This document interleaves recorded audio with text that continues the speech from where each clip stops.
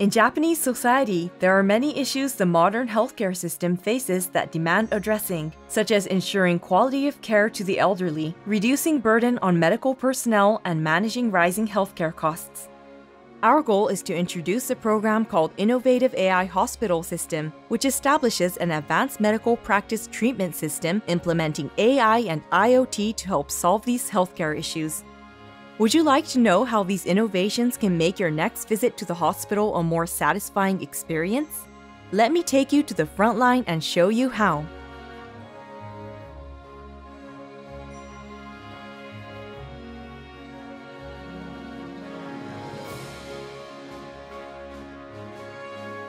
Based on the concept of futurability, Osaka University Hospital aims to be where all its employees and patients look forward to being satisfied here.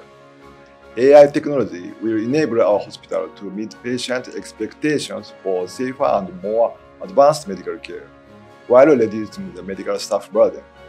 Our hospital strives on being a facility that benefits both the patient and the staffs. At Osaka University Hospital, there are currently 15 unique projects underway powered by AI technology. Our project uses AI for X-ray diagnosis, endoscopic imaging classification, and diagnostic imaging for ophthalmology, and assessment for uh, physical strength for patients with dementia and elderly. We are also working on a project utilizing AI in patient education for the patient going through surgery empowering patients to understand the complicated surgical process and gain satisfaction. This project will ultimately lead a digital doctor who can provide supplementary information for patients that are alongside and attending doctor.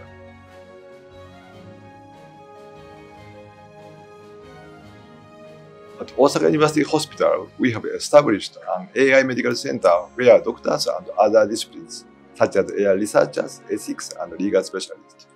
AI medicine is a relatively new field. All stakeholders, including medical staff, patients, and developers, should be convinced that these technologies are being used in safe and appropriate and secure manner.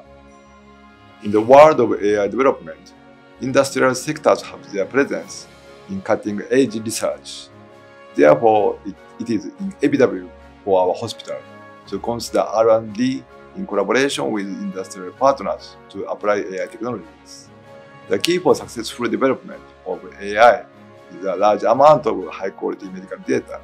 At Osaka University Hospital, the data warehouse of the Medical Information Department has accumulated 2.6 billion items of data since 1993. In preparation for future R&D, we have established the Osaka University Hospital Data Bank utilizing the large amount of high-quality medical data based on the consent of patients.